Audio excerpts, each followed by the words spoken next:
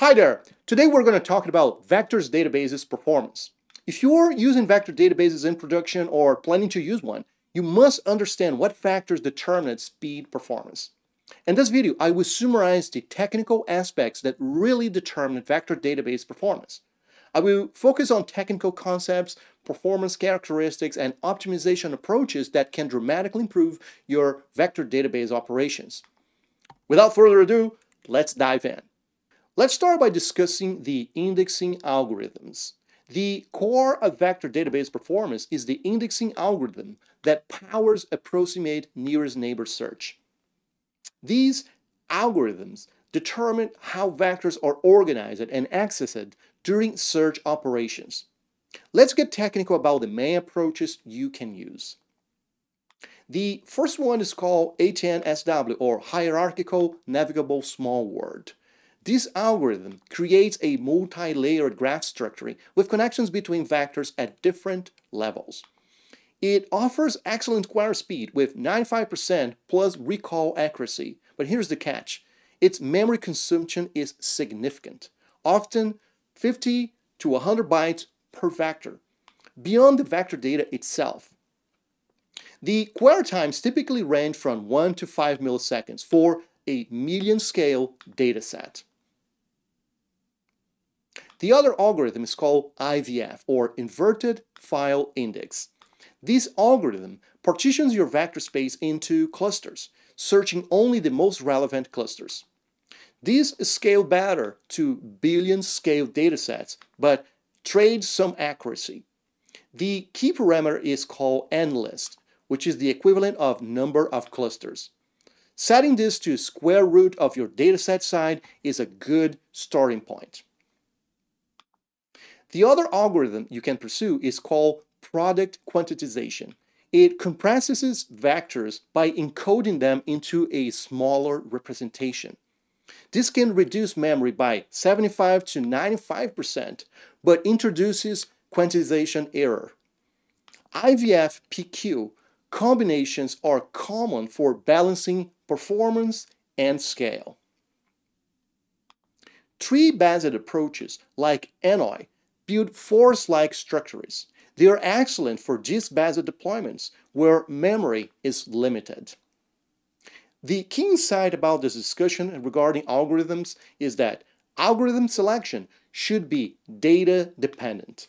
For 10 millions or more vectors, consider IVF PQ. For less than 1 million vectors, where accuracy is critical, HNSW typically delivers best results. The other technical consideration you must evaluate is hardware optimization. It's about matching your computing resources to the specific demands of vector search. The physical infrastructure you run your database dramatically affects performance outcomes, and the hardware choices directly impact performance with clear technical trade-offs. Let's discuss that now. The first trade-off has to do with GPU acceleration. It provides asymmetric benefits across workloads. The performance gain is most significant for batch operations in large datasets with diminishing returns for individual queries due to data transfer overhead. The speedup varies widely based on the specific operations and implementations of your use case. Memory versus disk trade-offs.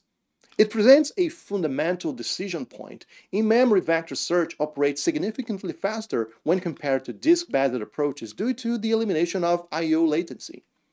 The performance differentiator typically ranges from 50 to 200x, depending on storage technology and, of course, your access patterns. CPU vectorization through SIMD instructions is another trade-off. Whatever approach you are using, they accelerate distance calculations by processing multiple vector elements simultaneously. The theoretical performance improvement scales with the width of the vector register, up to 16 times for 512-bit register, compared to scalar operations. Here is the technical decision framework for you to consider regarding all those trade-offs. If latency requirements are less than 20 milliseconds, in-memory approaches are practically required. If you need scale beyond RAM limits, consider quantization before going to disk-based solutions. Distance metrics and dimensionality define how similarity is calculated and how much computation is required. These fundamental aspects determine the computational load of each query and directly influence search speed. Each distance calculation has different computational costs, and it is important for you to consider each one of them. The first one is called dot product. This is the fastest, requiring d multiplications and d minus 1 additions. The other one is known as Cosine similarity. This one requires normalization plus dot product, which is slower unless vectors are pre-normalized. The other one is known as Euclidean distance. It requires d multiplications, d additions, and a square root operation.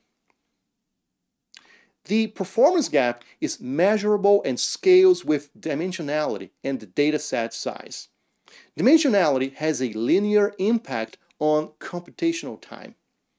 Each additional dimension increases both memory usage and computational time, proportionally. Dimension reduction techniques like PCA or random projection can provide significant performance improvements when query speed is critical though they must be balanced against potential accuracy loss. There are two practical optimizations you can pursue. The first one is pre-normalize your vectors at insertion time and using Cosine similarity. Two, consider dimension reduction techniques if query speed is critical and some accuracy loss is acceptable. Another very important technical consideration is the usage of embedding models. Embedding models transform your raw data into vector representations and their characteristics profoundly affect search performance. The models you choose determine vector properties that cascade through your entire search system. Different models create fundamentally different vector spaces. Let's discuss some of them now. OpenAI's text embedding ADA002, the one with 1,536 dimensions, it provides high quality, but it is computationally expensive. SBERT models, the ones with 384 dimensions, provides faster computation due to lower dimensionality. Specialized domain models may offer better semantic representation, but for very specific tasks. These embedding model properties directly impact indexing efficiency. This is important when you are actually adding your vectors to your vector database. The first one is vector distribution. Models with more uniform distribution, the ones with higher entropy, create more challenging search spaces, affecting algorithm efficiency.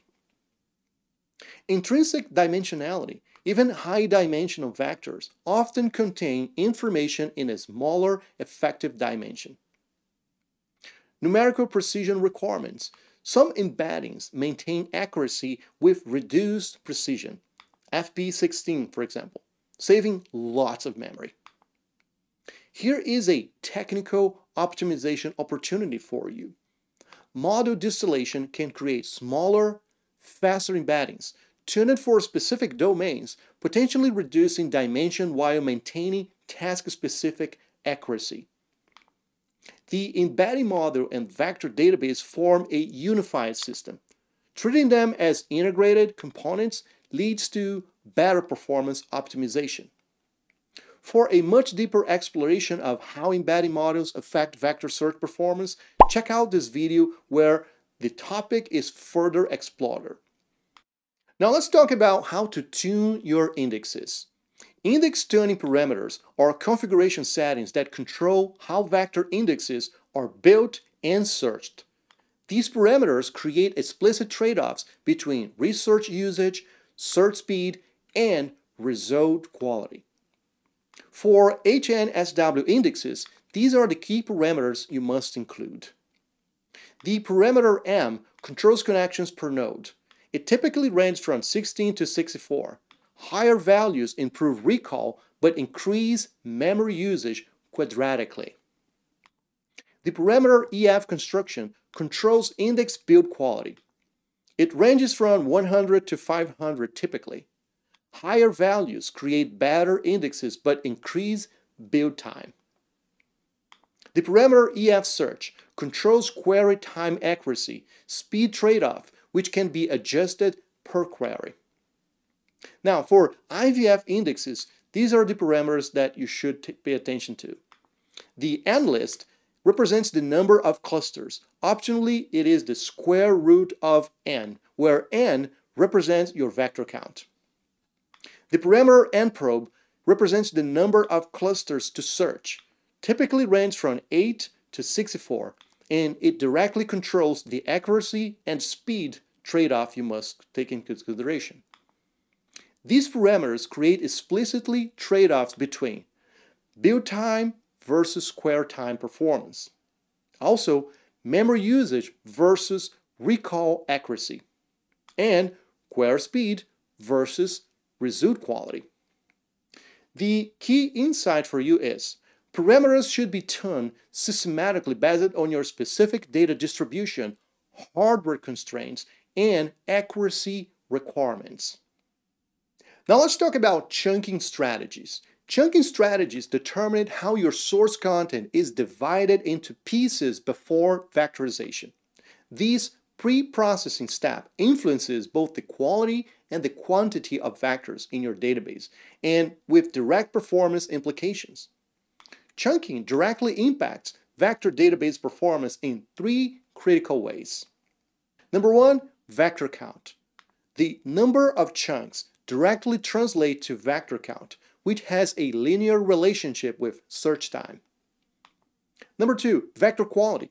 How you chunk determines semantic coherence and search precision of each vector. Number three, index structure. Chunk characteristics affect clustering efficiency and index transversal speed. Heads up, for a detailed breakdown of specific chunking strategies, check out this other video that talks about this topic exclusively. The link is in the description. The technical optimization framework for chunking remains critical. You need to balance chunk granularity against search latency requirements and context preservation needs. Smaller chunks increase vector count but improve precision, whereas larger chunks reduce index size but may dilute relevancy. Performance-wise, your chunking strategy can be as important as your choice of database or indexing algorithm. The right approach depends on your content type, query patterns, and performance requirements. This is why chunking deserves dedicated attention in your vector search optimization process.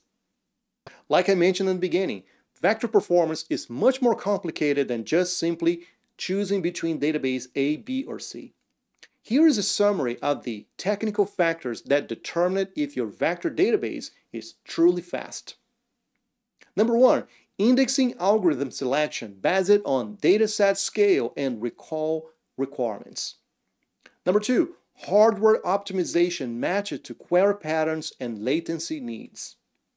Three, distance metrics and dimensionality management for computational efficiency.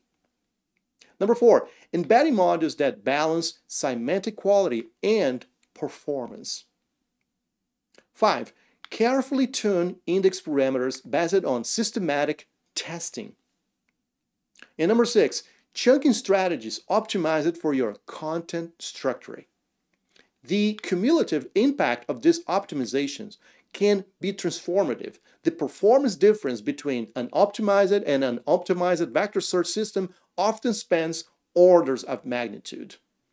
The overall key insight vector search performance comes from the entire system working together, not just the database you choose. If this technical breakdown was useful, hit subscribe for more in-depth vector search optimization guides.